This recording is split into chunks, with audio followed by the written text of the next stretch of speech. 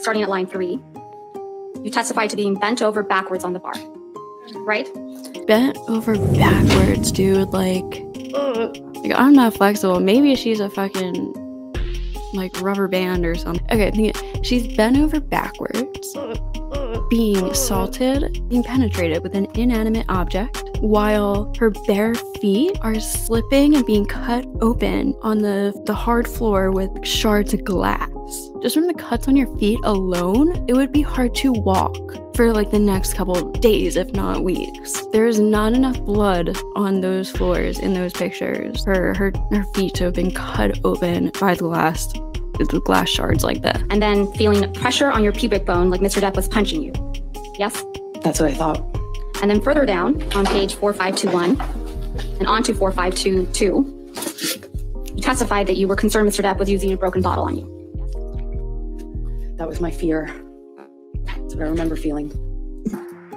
You remember feeling that you were being penetrated by a broken bottle. They're like, this is even too ridiculous for Hollywood. I think you would know if there was a broken bottle. Like, I don't even want to think about it. And you testified that this is a picture of the bottles that were next to Mr. Depp on a desk when you found him drinking in the morning, right? That's correct. And this was the morning after Mr. Depp had allegedly sexually assaulted you, right? It was the morning after he did assault me. Yes. And if I understood your testimony correctly, you testified that this is the maker's mark bottle that Mr. Depp sexually assaulted you with. I was never sure it was, but it was definitely that shape.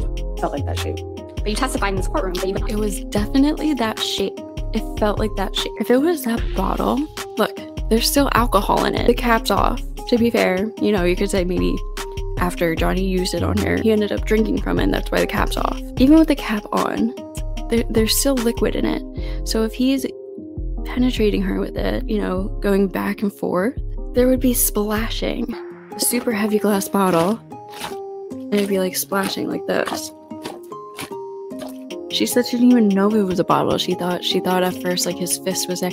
Like you would fucking know. You would hear it. And then and then that way you would know it's not broken.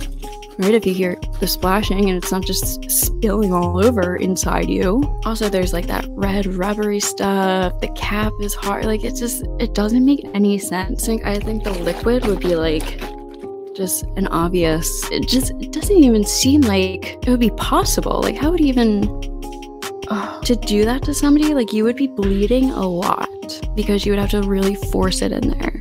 There would be no lubrication with that rubber, and exactly, it, would rip her apart. She wouldn't be able to walk from that. She wouldn't be able to walk from the cuts, and she didn't even take one fucking photograph. And this doesn't even include the beatings. It's like bent over with the cutting on her feet. It's just, it's way too fucking much. It's crazy Hollywood. You claim you had serious injuries after this alleged incident, right, Miss Heard? Depends on what you would call serious. For me, uh,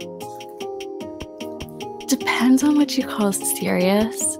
For me, my my vag getting ripped open by a potentially broken glass bottle. Well, okay, by I'll give her the I'll give her the by an unbroken glass bottle. My feet being sliced open by shards of glass while I'm being penetrated by this glass bottle and being choked with like my back over a countertop and being beaten in the face and having glass being thrown at me. Yeah, like I don't really consider that a serious injury. I don't know what like injuries you consider serious, but like I'm just super tough.